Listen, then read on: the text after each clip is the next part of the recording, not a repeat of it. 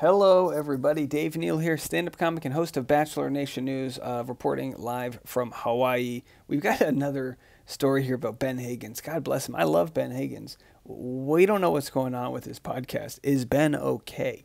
So, we made this story last week. Ben is bored AF.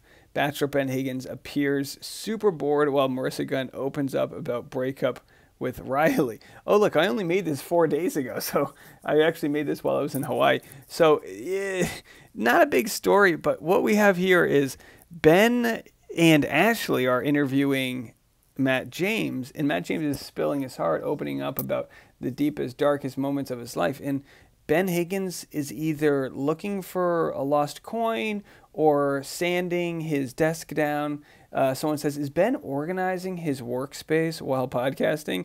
And another, my favorite comment, The hell is Ben doing? Now, we're hoping he's okay.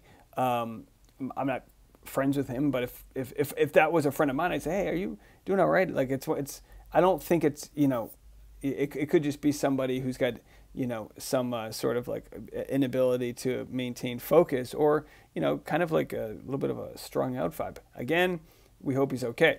So i made that video and then i'm going to play for you guys two clips here of matt james really opening up. Very fascinating words coming out of matt james mouth here regarding his time on the show and ben higgins can't be bothered and again, we don't know. You know, it could be that he's dealing with some problem behind the scenes, like, oh, the podcast is having lag issues, and he's on his computer trying to figure it out. We really have no idea. Uh, but the audience is starting to catch on.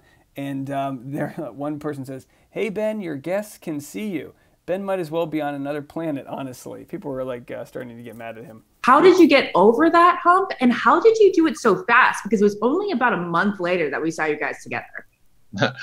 Um, what you didn't see on the final rose was that you know we left the stage hand in hand. uh, yeah. So this is a huge moment. This is uh, this would be breaking news if I had the uh, breaking news uh, audio with me on my mobile setup.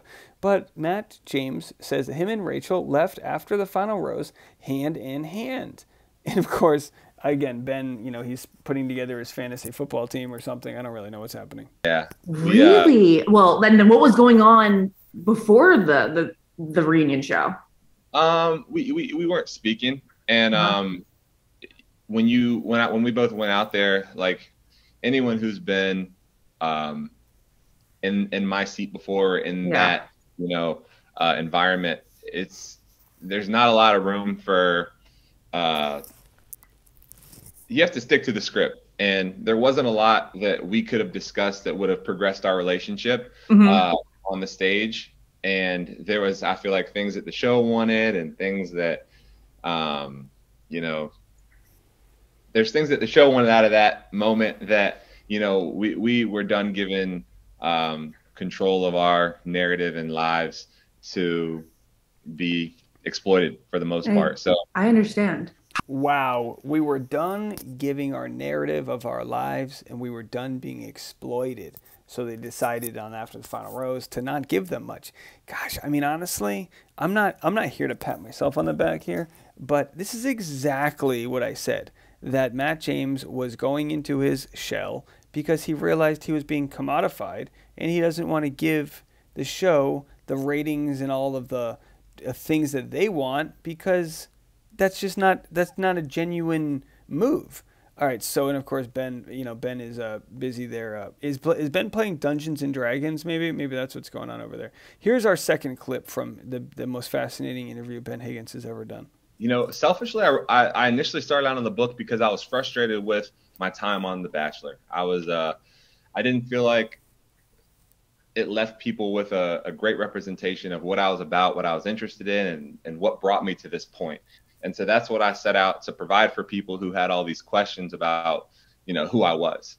And as I began to collect these stories and put it to paper and I started to realize that a lot of people could benefit from the things that I've been through. And uh, it, it became a, you know, a celebration story and a, and uh, something that mo- a lot of people I feel like could relate to. There's a lot of themes in my life that a lot of people have been through from the family aspect, from my relationship with my dad, uh, being in a multiracial relationship, uh, the risk that I've taken professionally, you name it. And I think a lot of people think that they experience things by themselves. But what I realized through the bachelor experience is when you share with people and you're vulnerable about where you're at in life, what you've been through, and what you're going through, a lot of people are going through similar things. You know, selfishly, I, I all right. So that's the end of that clip, and of course, Ben uh, doing a better job paying attention here. And again, we're not we're not here trying to make fun of him or whatever. Uh, you know, it, podcasting can be hard. I know from I know for one, if I'm telling a story and I feel like someone's not listening, I just can the story. I go, "What are you doing? Do you need help with something? What's happening?" You know, if I don't feel like I have someone's attention. Obviously, on a podcast, it's going to be a little different there. Uh, with regards to what Matt James was actually talking about, yeah, he has every right to write a book. You know, sure, they get paid, you know, he gets paid a six figure amount for being on the show. But then after that, your biggest chance to cash in is by writing a book, doing a podcast, maybe other other ways. But he's not legally allowed to. I don't believe he's allowed to do a podcast till two years after. I know they're not allowed to have a YouTube channel um, until two years after the lead's been on the show. If you weren't a lead, it's only one year. They have different contracts.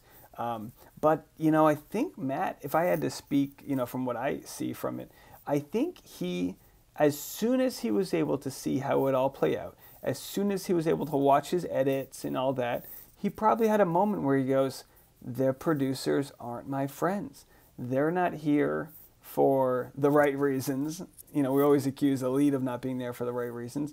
He realizes they're going to use my image, my likeness, who I am, my character, and they're going to mold it to fit their narrative. And we're done doing that. So, as we saw with him and Rachael Kirkconnell at the After the Final Rose, that was a tough conversation. Now, if you didn't watch my reading of Matt James of the excerpt from his new book that's coming out, it was fascinating. It was like a 20 minute uh, uh, uh, reading that I did of what he wrote, and it was fascinating. And I truly believe that him and Rachael Kirkconnell did break up. I do. He mentions uh, uh, uh, trying to hook up with Grace or see her at least, and Grace was that that lady in Florida. He mentions that Rachael Kirkconnell gave him an ultimatum, like it's either we do this or we don't.